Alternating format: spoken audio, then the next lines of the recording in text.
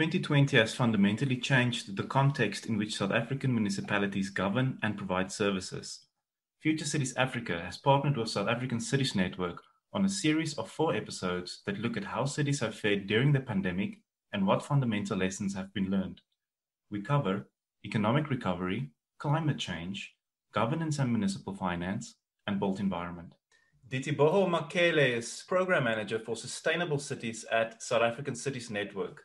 Liteboho, welcome. Give us a brief introduction to your role at South African Cities Network. So, my work um, primarily focuses on supporting cities in their sustainability transition journeys. That means getting them to achieve the sustainability development goals that they've set for themselves, um, whether it's five year um, goals through their IDP processes or longer term goals through their growth and development strategies. For the past um, five year period, um, in the last few months of the five year period that we started in 2016, our focus has been on resource efficiency and sustainable infrastructure mainly looking at the themes of energy, water, waste, and climate change. Let's reflect on the State of Cities report of 2016. Since then, what has changed for the better and what has changed for the worse? We produce the State of Cities report um, every five years. Um, we've started producing it since 2004, and then from 2006, we started producing it every five years to coincide with the local government administrative and political cycle, you know, the change, what that happens when local government elections take place. So the last one we published in 2016, um, the key messages that came out there for the Sustainable Cities chapter was specifically around the fact that cities are still growing in a very resource intensive way with inefficiencies across sectors like energy, food, water, waste, and transport, and that the continued silo approach to planning and service delivery is inefficient and not conducive to the cost cutting nature of sustainability. And the other key message was that cities are lagging quite behind with um, spatial transformation. Um, and they're continuing with the same sort of infrastructure and built environment developments that are pushing people to the periphery of cities and further and further away from economic hubs, thus increasing the social exclusion, uh, marginalization, and inequality that we see in our cities. It also said that cities are still struggling with embedding sustainability into their day to day planning and service delivery provision. Yeah, so those were the key messages from the 2016 um, State of Cities report. Around climate action on the Sustainable Development Goals, what is the current state of climate change interventions in South African cities? Since the 2016 report, there have been some um, progress that cities are making. The Sustainable Development Goals are obviously a global commitment that we've made to the global community, the international community, and we're tracking them um, regularly. Every year, um, our cities need to report on, on their progress. So, a lot of our cities are, have developed climate action plans which are in line with the Paris Agreement and in line with the Sustainable Development Goals.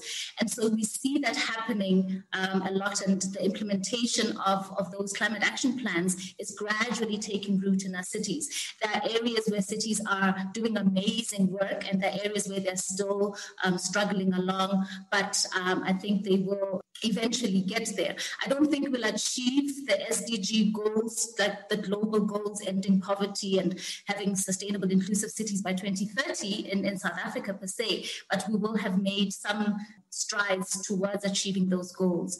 And the implementation of that, I think, to just emphasize, does not only rely on cities, like the administrative part of cities, it relies on cities in the broader sense of the word, um, which includes the other sectors that are part of what makes up the city. So the private sector, civil society organizations, and us as ordinary citizens, we all have a role to play in that. So there's been a lot of progress that cities have made in the energy sectors. We see a shift um, towards more renewable energy systems For instance, now there's talk about how do we make um, electric vehicles accessible to, to our, our, citizens or the infrastructure that enables people to have um, electric vehicles accessible. So um, you have electric charging stations around the city and the infrastructure that goes along with that. So there's been some progress that's been made in the energy sector um, and the climate change um, adaptation and mitigation um, areas. But when we look at water and waste, our cities are still lagging behind in, in, in those areas.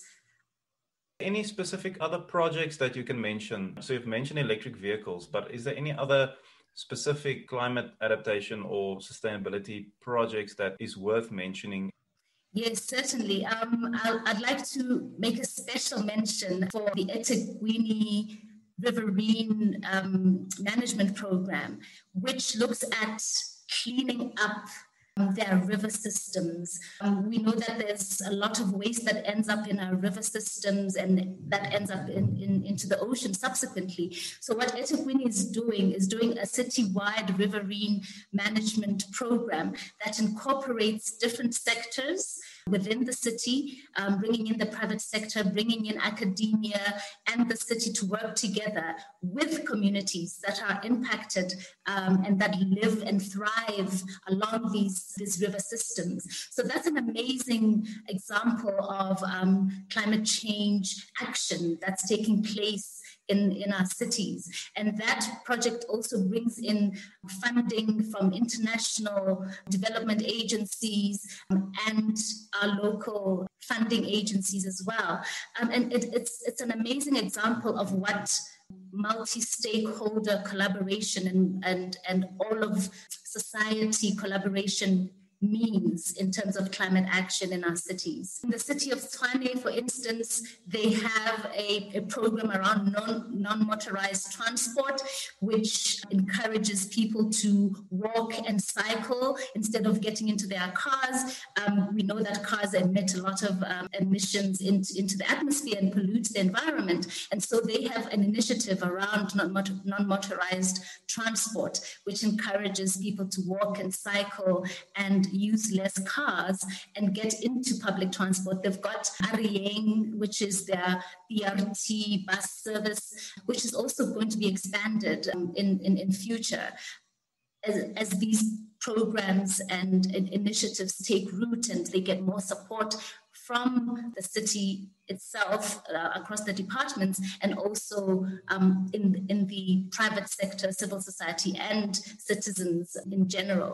The city of Joburg is also about to put out its climate action plan, which also, and, and they've recently um, completed the environmental sustainability strategy and action plan. And both of these bring together different actors within the urban, so private sector, civil society organizations, and they are really pushing for this collaboration to happen because we understand um, as organizations that support cities that it's not only the city's role to ensure that um, climate action does take place, but that the whole of society, which is espoused by the integrated urban development framework, it, that it actually happens, that this all of society approach to our development and getting where we need to get to by 2030 happens. So the city of Cape Town has um, initiated a climate resilience strategy, and they have a chief resilience officer in place.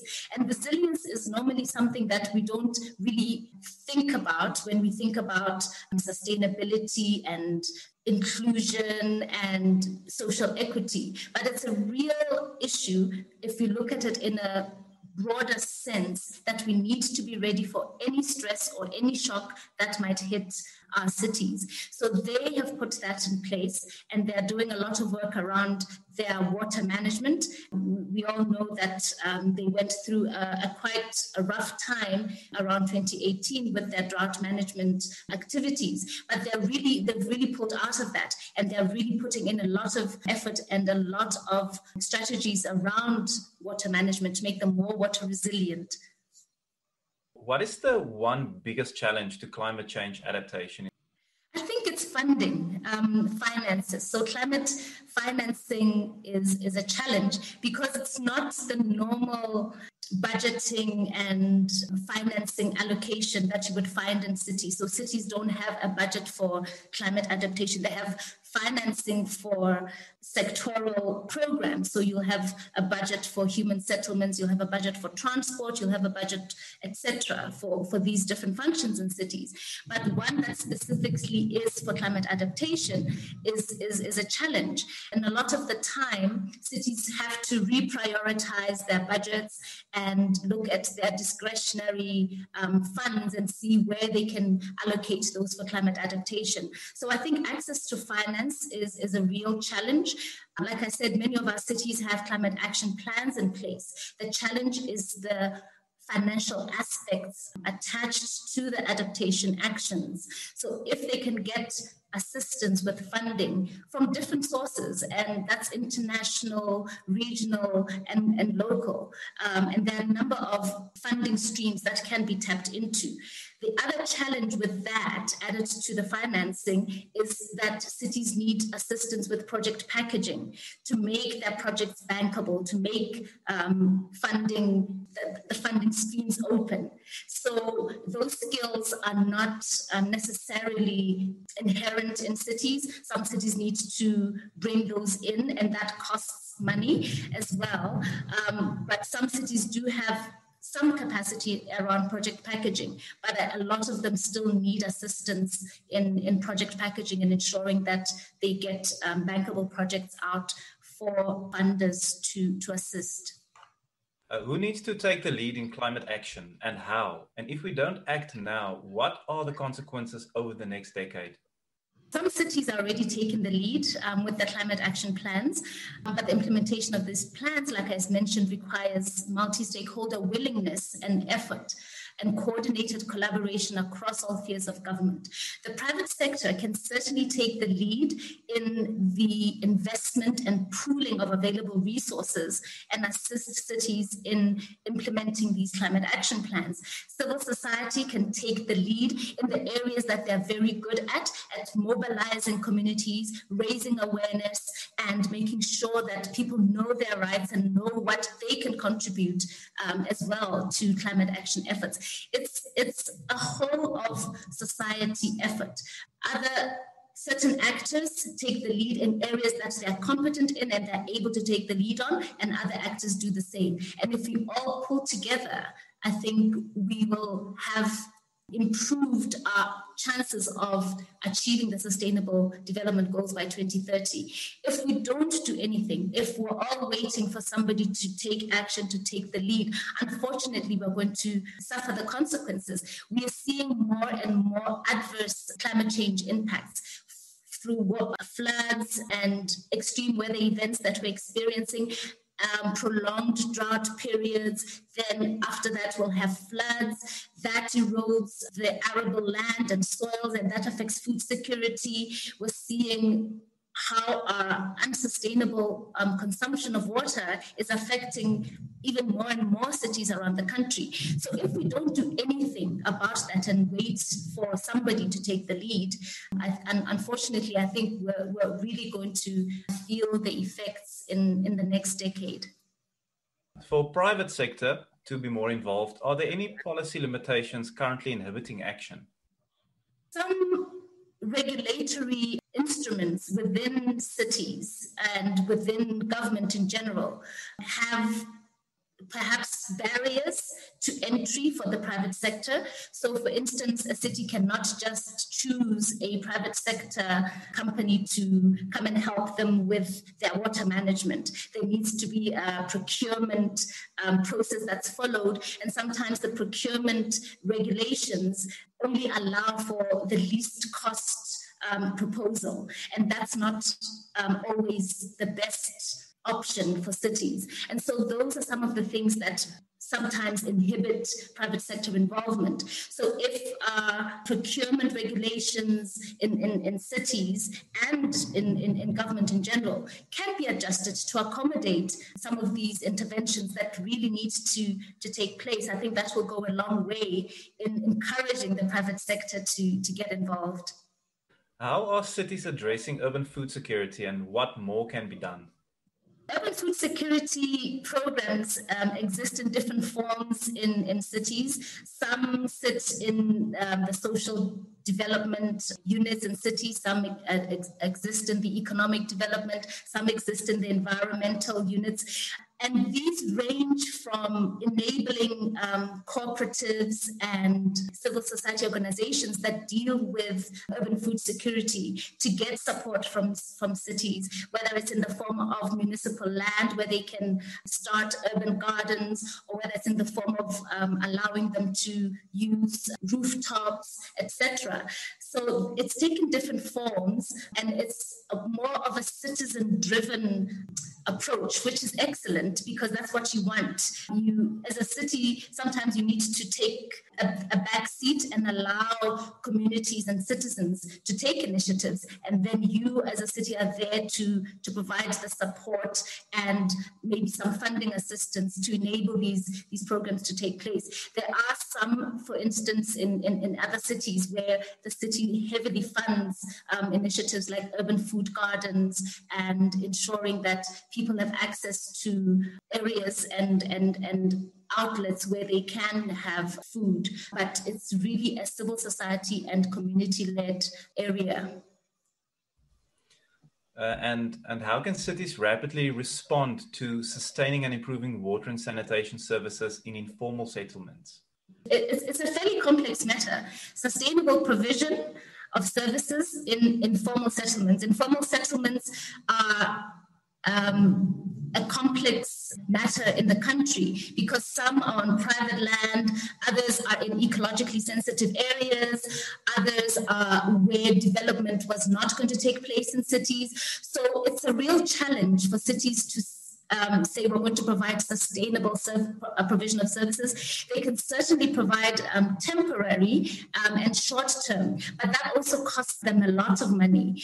But it's really a complex matter, especially under the, um, the pandemic conditions where you need to make sure that people have access to water and sanitation services. So that also is something that should involve assistance from national government and civil society. And we've seen a lot of civil society organizations stepping on board and coming to the party really um, during these emergency times and assisting communities. Um, and cities are also doing a lot, and we need to really commend them for being able to mobilize funds, um, reprioritize budgets to address the challenges that we face in, in informal settlements. And this is on top of the already existing backlogs of informal settlement upgrading and ensuring that people have access to, to decent homes. So it's a really complex uh, matter that just doesn't have a one solution um, option to it. What are the financial impacts of the pandemic on water and sanitation services? The financial impacts have been quite significant um, due to the emergency nature of the pandemic and the services that had to be brought into communities at rapid speed and as efficiently as possible. There are some estimates just for this financial year of about 14 billion rand in losses for cities because they've had to use funds that they hadn't intended to use for emergency services. They've had to request funds from national government departments to enable them to, to, to provide these services. And they've also have had to redirect funds um, and reprioritize their budgets to accommodate um, the emergency services. And then added to this is the fact that their own revenue streams have been steadily going down because of the economic impacts of the pandemic on household incomes. So people who normally would pay their water and electricity rates are, are not able to do that anymore. And that affects um, municipal revenue. And municipalities often use those funds to then support communities that cannot afford those services or to pay for those services. So it's a, it's been a really quite significant impact, and the real impact will only be felt post the pandemic um, when we take stock of of how much was spent and how much revenue was lost in in this period. With regards to the circular economy in South Africa, what's the current status and what are some of the key interventions? The circular economy is a real interesting opportunity for, for cities to, to get involved in. I'll just touch on the waste um, sector, for instance. Uh, there are so many opportunities, and cities are already looking at, at how to incorporate circular economy principles in their waste uh, management um, practices and in the waste value chain. We've seen the increase in the informal waste pickers or waste reclaimers in, in, in, in our cities. And a lot of cities are seeing the opportunity of involving um, these waste, waste reclaimers in the waste value chain because they play a significant role in diverting waste to landfill. And cities are already also looking at opportunities to use some of the unrecyclable waste to generate energy that can be used in sectors that are energy intensive, etc. So it's starting to take shape. Um, the plastics sector is also doing um, a lot of work around the circular economy um, strategies. So the waste sector for me is one of the low hanging fruits, to use that phrase, for cities to, to get the circular economy started. I'm thinking of another question with regards to the mayor of Paris uh, mentioning project for them being a 15 minute city where you can get everything that you need within 15 minutes. How doable is that for South African cities over the short and medium term? The 15 minute city concept is quite an amazing and innovative approach to urban planning in developed countries. I think it, it works well in, in, in, in, in the European context. In our context, because of the um, inherited spatial form that we have, where you have um, economic hubs and then you have suburbs and then you have townships right at the periphery of, of cities. Just coming into, for instance, a city like Joburg, if you live in Orange Farm, takes you what 40 minutes or 30 minutes at the most if you're in a very fast taxi. So that concept for South Africa would really take a lot of, if we really work on our spatial transformation um, challenges that we have, and bringing people closer to economic hubs, bringing people closer to the services that they need, and reducing our urban sprawl, and making sure that the services and the amenities that people need access to are available within that 15 minute um, radius. So it's, it's, it's quite a challenge for us, and I don't think it's something that we can achieve in, in, in the short term. Um, but hopefully, in I don't know, 20, 30 years' time, we'll have been able to, to, to make our cities more compact and more sustainable.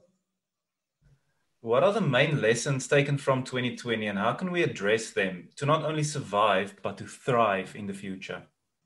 So I think the main lessons that we've taken out of 2020 is that when hit with a crisis, we can work together. We can collaborate, we can pull our funds together and resources, and we can act.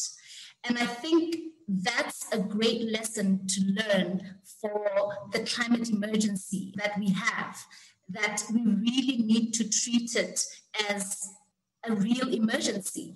And that can take us in, in good stead for the next decade to come. So, collaboration, pooling resources together, and different actors and different sectors taking the lead in the areas where they're competent in um, can take us forward um, and help us survive and thrive into, into the new year and into the decades to come to, to 2030. The other lesson I think is about resilience and how important it is for us to plan for resilient cities um, and make sure that um, urban resilience goes beyond just the environmental agenda. We need to look at the social aspects. Um, the pandemic has showed us how important um, health and well-being are, not just physical getting ill, but our mental health as well and our access to social and recreative amenities. Um, people have seen how nature is important and they have a, a, better appreciation of the value of nature and having nature accessible in cities. I think those are, for me, the, the, the key lessons working together and understanding what urban resilience really means.